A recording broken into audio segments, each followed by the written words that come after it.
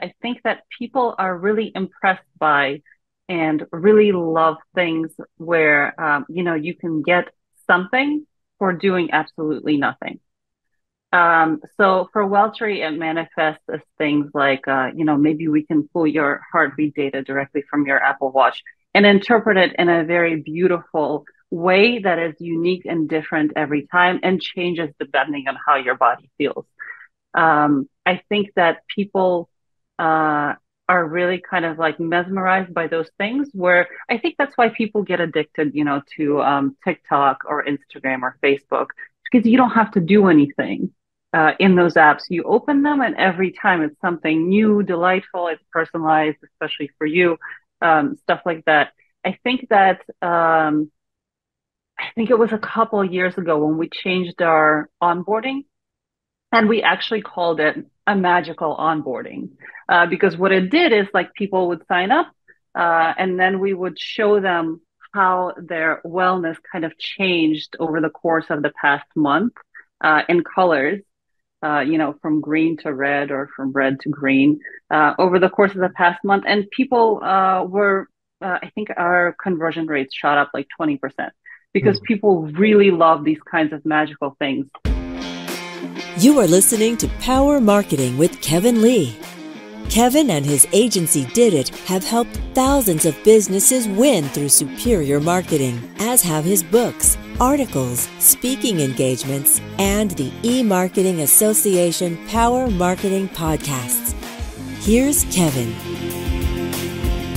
Uh, I was out at uh, a conference recently and had a chance to meet Asya Paloni, who is a product manager at Welltory, which is a health app. And the, the reason I was super excited to talk to her is, you know, app developers are often balancing different priorities around like what is the app's monetization strategy and how do they balance off things between charging for certain features and not charging for other features and making it freemium and then ad supported. And then if it is ad supported you know there's all sorts of decisions around that and I just uh, thought it'd be like a fun conversation to have because as the e-marketing association, um, you know, servicing both sides of the publisher and advertiser ecosystem, I think it'd be fun to sort of get into your your mode of thinking. So thanks so much for for joining me on the podcast. Uh, thank you so much for having me. Uh, I'm super happy to be here. Yeah, and so for those of you who, those folks who don't know your app and what what your app does, maybe give us sort of a Reader's Digest of the app and how many installed users it has and whether or not it has a freemium element to it or not. Uh, sure. Yeah. So let me try a pitch that I haven't tried before. sure. Uh, so Welltory is an all-in-one wellness app uh, that tricks you into taking better care of your health without you even noticing. Um, uh, I think uh, I think I'm going to try to sell it like this now. Um, so uh, basically, what Welltory does is it pulls uh, a bunch of data from different apps and gadgets, uh, and then it interprets it for different insights to tell to let you know how your body is responding to everything that happens to you. Uh, and kind of it works better the more sources you sync and the more trackers you have, the more data you connect. I think you can connect like uh, up to 1,200 different sources. Uh, and like you know, the more you connect, the more interesting it gets, the more analysis you have uh, and right. stuff like that. Um, I think what makes us different from most health apps is that we really don't try to not tell people what to do. Uh, we don't, we don't, we try not to give people like goals to meet or give them like little tasks. Uh, we just kind of prefer to let people's own bodies uh, guide them to better health. Uh, we really believe that the better you're connected to your body, the better decisions you're going to make uh, about your health behavior and stuff like that. Um, yeah, so that's how it works. Uh, it's been uh, it's been a bit of a wild ride, uh, but a very successful one. Uh, we have um, about eight million users. I, I think uh, even more than that at this point. and yes, I think did I does that answer all of your questions? Yeah, yeah. the, the the other question would be, you know, is it is it mostly pay, paid or is it is there a freemium version as well and if there is a freemium version sort of i'd love to also hear how you went through deciding you know whether there would be a freemium version or not mm-hmm. Uh, yes. So uh, because we're dealing with uh, people's health data, uh, we're really, really careful about uh, data privacy. Uh, and sort of because of this, we immediately said no, we're not going to ever sell people's health data, share it for profit, anything like that. Mm-hmm. our business model is strictly people pay us so that we can give them insights based on their data we don't advertise them any strange, weird things. Uh, we don't give their data to anyone else. So it is a freemium model. You get some things for free. Uh, I think our general strategy is if it's something that we genuinely think can help save people's lives, then it should be free. Mm-hmm. Um, so something like we have these um, we have these camera measurements when people can take a heartbeat measurements and they give you like very beautiful interpretations of like your stress insights uh how much energy level you have kind of like if you should take it easy that day uh but i our general model is if uh there's a we spot that there might be a genuine risk to your health uh that should be free mm-hmm. yeah it's a, yeah. great uh, philosophy to have uh with yeah. regards to that um and uh, sort of one of the things is in a product management hat that you're wearing, right? You have to decide from the connectivity to device perspective, like which which things do you add to the next list, right? So there's certain sort of obvious ones like Apple Watches, but then there may be less obvious ones like if there's continuous glucose monitors and there's seven top brands, right? Do you try to integrate with only the top two? Do you try to, you know, how do you make the decision mm-hmm. as as far as what you're what you're tapping into because I would imagine each each one of those may pose its own challenges with regards to some are easy to integrate in with and others are quite challenging. Yeah, yeah. Uh, I think that um, what makes things a bit easier for us uh, is that uh, a lot of uh, companies, when they make these devices, they make them so that they're immediately you can integrate them with your Apple Health. Uh, and mm-hmm. because we integrate with Apple Health, uh, we kind of can grab the data as long as the you know the person is comfortable sharing the data with us obviously we always ask for permission but we can just integrate directly with apple health and get most things from there um, and right. it's also easier for it's easier for users because you don't want to be integrating 5000 different devices separately um, right. So yeah, I would say that uh, by default, all things that integrate with uh, Apple Health get priority. Uh, they're going to be integrated with us faster.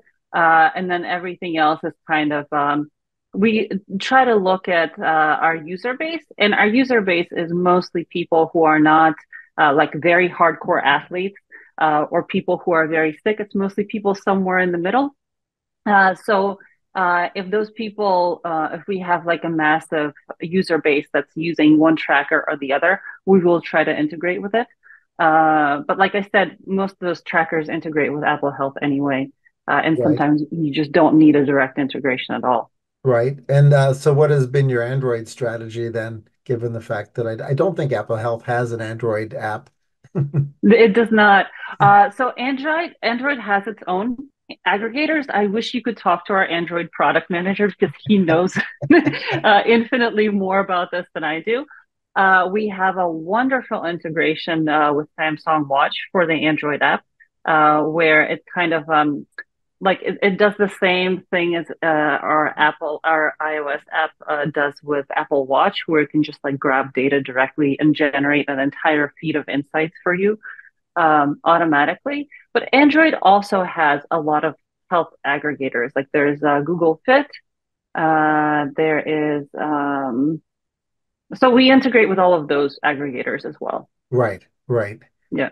So um, once is it sort of a very one of the things that uh, people who are app developers are super focused on is sort of stickiness, right? They don't want churn. They don't want a person trying an app and then saying, "Oh, it didn't provide enough value," right? And you mm-hmm. sort of mm-hmm. think about people's home screens on either an Apple phone mm-hmm. or a Samsung phone for that matter, right? Is there's certain things that you know are going to be there pretty much forever once they decide that they're either an Uber or a Lyft customer, they'll mm-hmm. leave that there. Maybe they'll leave them both there, like I do, right? Yeah. Um, and so, you know, stickiness of the app is, is super key. So as you're sort of mm-hmm. planning out things and you want to make sure that it's sticky, that sort of means you need to delight them right away, potentially even while they're still in the freemium mode, right? So, right. you know, how do you think through that? Uh, that you know, make sure that it's got like a super easy learning curve and they can sort of delight them right away. Is there is there mm-hmm. general best practices around that? Well, so let me uh, let me kind of separate that question into into two. So I I do think a lot of people say, uh, you know, retention and stickiness are like super important. If you don't have them, you don't have a product, you don't have an app. um, and in the in kind of the health tech and the and the wellness tech space, I'm not sure I fully ag- agree with that because you have. Um, so I was quitting smoking, uh, thankfully successfully, and I had this app to help me quit smoking and if you are making that kind of app and you have like really good stickiness and really good retention, you're not doing a good. exactly. Yeah, it's a good point. you're not really doing a good job. I mean, it might not be like uh, the best for a building a long-term company if you're building a product where your ultimate goal is to have the user churn. Uh, but yeah, so I, I don't I don't actually think that all products need to be need to be like really focused on retention and stickiness. Um, it's definitely our focus at Welltory because I don't think you can actually help people continuously lead healthy lives unless you're with them like every step of the way. Um, right. So stickiness and retention are really important for us. I think that um, man, a lot of my a lot of my coworkers uh, aren't into uh, this idea as much as I am, but I really think that the key to long term retention uh, and stickiness um, is magic. um, and what I mean by that is that I think that people are really impressed by and really love things where um, you know you can get something for doing absolutely nothing. Um, so for Welltory, it manifests as things like, uh, you know, maybe we can pull your heartbeat data directly from your Apple Watch and interpret it in a very beautiful way that is unique and different every time and changes depending on how your body feels. Um, I think that people uh, are really kind of like mesmerized by those things where I think that's why people get addicted, you know, to um, TikTok or Instagram or Facebook because you don't have to do anything. Uh, in those apps, you open them, and every time it's something new, delightful, it's personalized, especially for you, um, stuff like that. I think that um, I think it was a couple years ago when we changed our onboarding and we actually called it a magical onboarding uh, because what it did is like people would sign up uh, and then we would show them how their wellness kind of changed over the course of the past month uh, in colors uh, you know from green to red or from red to green uh, over the course of the past month and people uh, were i think our conversion rates shot up like 20% because mm people really love these kinds of magical things.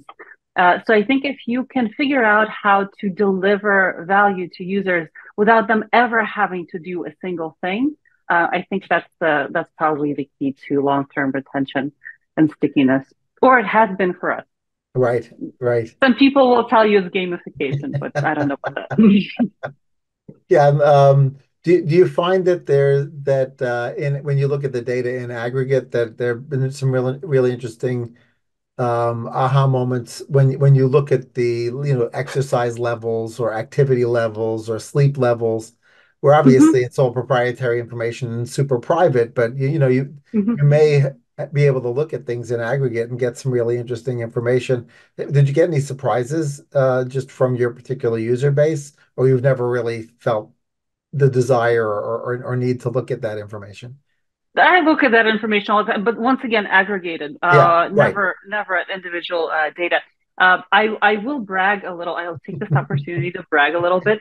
Um, so we have found uh, we do internal research, and we do find that when people start um, using the app after about uh, a month or two months, sometimes uh, we measure people's stress levels based on their heartbeat and we see that their stress levels go down by about 10%, uh, which is really cool. And people also start, uh, they add an average of 20,000 steps more to their like monthly step count. Uh, they start getting more exercise and they actually start sleeping 20 minutes more uh, per night uh, on average, which I think is really cool. Uh, so those are kind of some of the, I think that's probably the coolest insight that we've um, gleaned from uh, our users' data over the long term. Right, right. Um, the one of the other challenges you probably face internally is uh, obviously you don't want to give you want to give people the tools to be healthier, but you don't hmm necessarily want them self-diagnosing and then not engaging with a healthcare provider, right? And Absolutely. so how do you find that balance, right?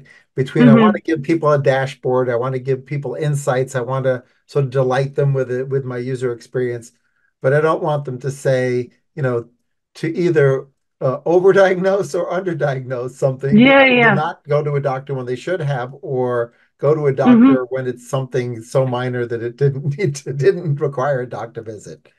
Yeah. I think this is the problem, uh, or, or kind of a, I don't want to say problem, a challenge for health tech uh, generally. I don't know Yeah, if you're familiar with um, with Dr. Mike. He talks about this a lot. How a lot of times these uh, these health trackers are actually giving giving people more health anxiety uh, because people people tend to like over monitor and then like the devices glitch. Like sometimes in the middle of the night, it says my heart rate is like 160. And I've been working in health tech for a while. I know it's not 160.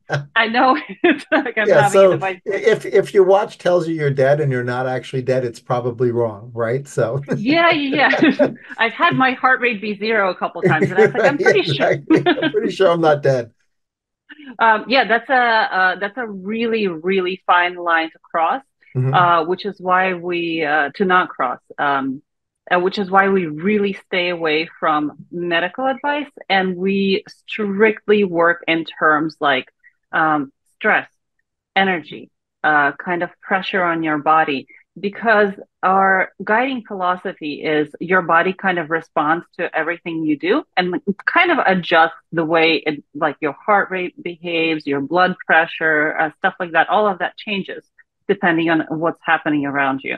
Um, and our job is just to show people how things are affecting them. It's not to diagnose and be like, oh, you're having like a cardiac incident or something like that. Right. Um, it's just it's just to uh, to show them how uh, different things uh, affect how their body is behaving. hmm Well, you mentioned gamification, and obviously the Mhm. gamification of health would be a really sort of odd thing. But then again, some folks, particularly competitive athletic folks, would love to gamify everything, right? I mean, they, they would Mhm. love to have uh, you know, biofeedback sessions to see whose heart rate can go lower or whatever, right? Of So, course. you know, have have any stories come up of where people are in fact trying to sort of make it fun or, or in, in ways that Mhm. were unexpected?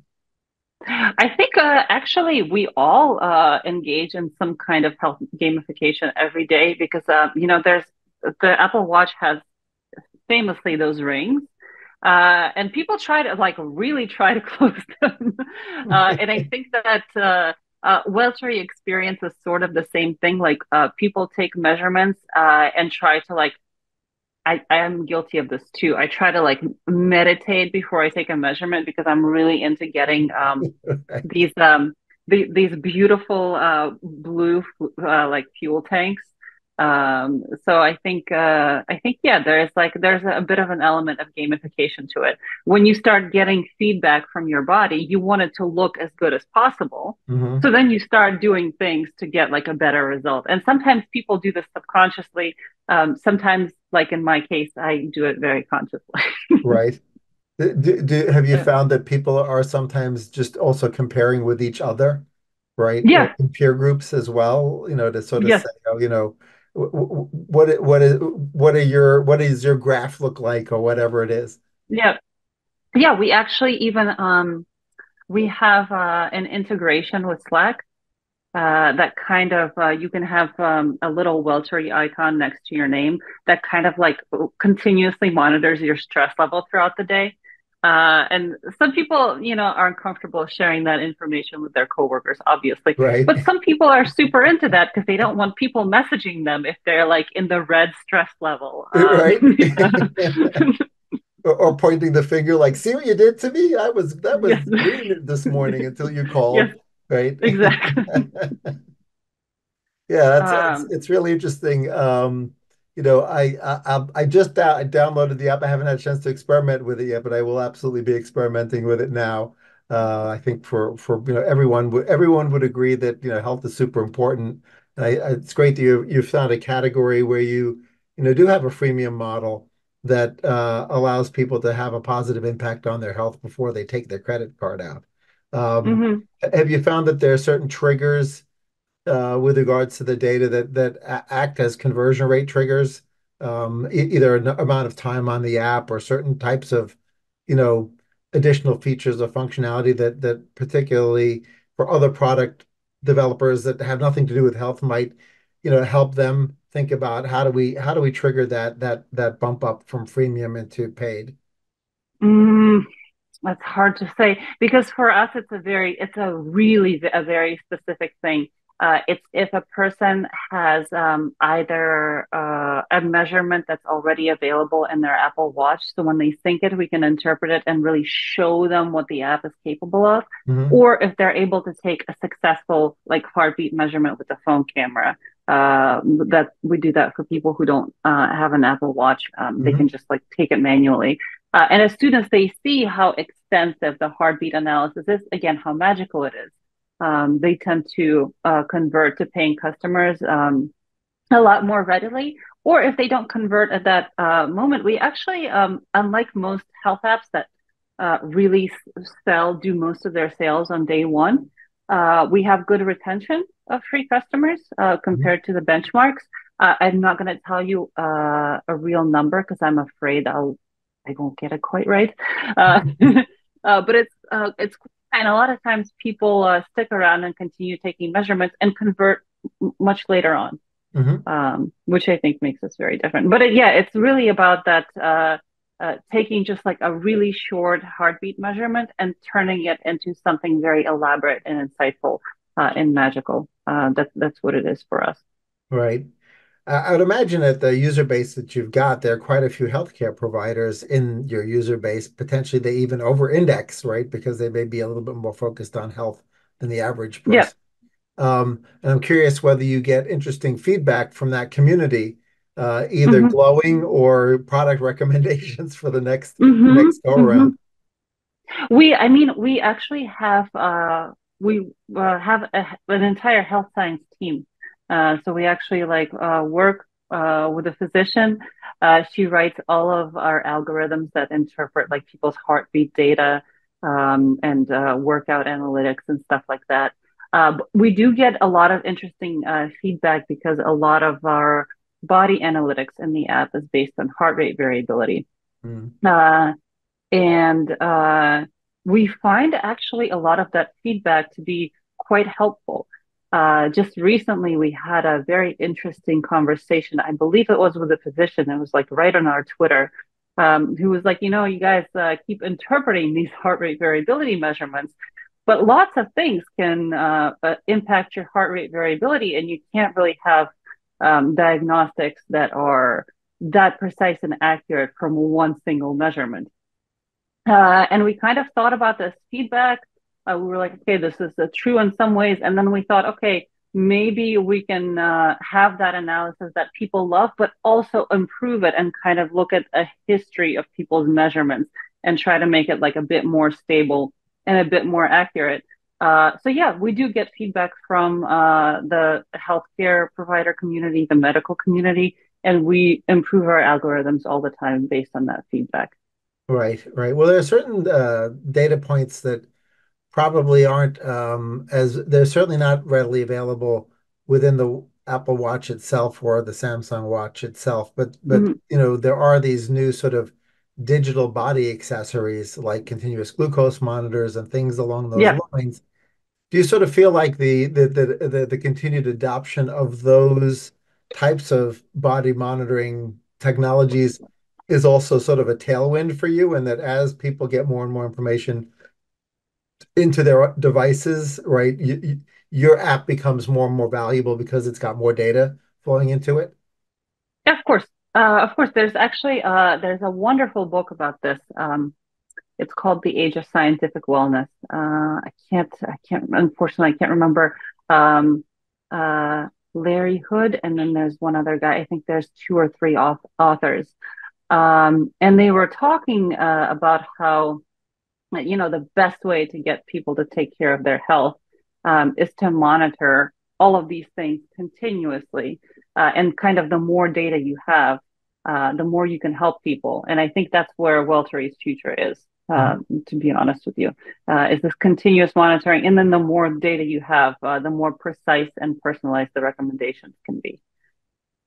Does um, machine learning and AI factor heavily into sort of the next generations of the software that you guys are are putting out? Of course. Uh, so yeah, we we kind of I think we were doing a lot of AI before it was cool. Honestly, I think that uh, this is uh, the story of how I ended up at Welltory to begin with, uh, because I was not a tech person uh, as a copywriter um, and translator. And I was doing a lot of um, copywriting for Welltory.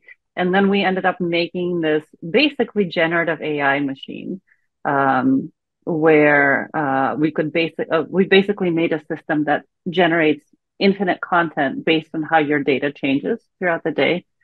Um, so I, I, think that was like our, our, our little MVP, like generative AI. Uh, I'm really happy there's a real one uh, because maintaining ours was like not a good time for me, uh, to be honest. Uh, but I think that uh, now that generative AI is a thing and we're getting more and more data, uh, so much more sense of this data can be made uh, by these ML and AI techniques, uh, and it just wasn't possible even a year ago. Uh, and I'm I'm super excited to see where it's headed. Right, right, cool. Well, th- thanks so much for sharing uh, the, the, the journey that you've been on and the like little epiphanies uh, from a product management perspective. I think other folks building apps or, or you know also the people on their own health journeys will, will get a lot out of it. I appreciate you joining me on the, the podcast. And of course. Thank you so much. Kevin Lee's Power Marketing is available on all your favorite podcast networks. Kevin loves helping businesses excel at marketing. Having marketing challenges? Just like Santa in The Miracle on 34th Street, if Kevin can't help you, he'll know someone who can. Find him on LinkedIn, subscribe, or follow.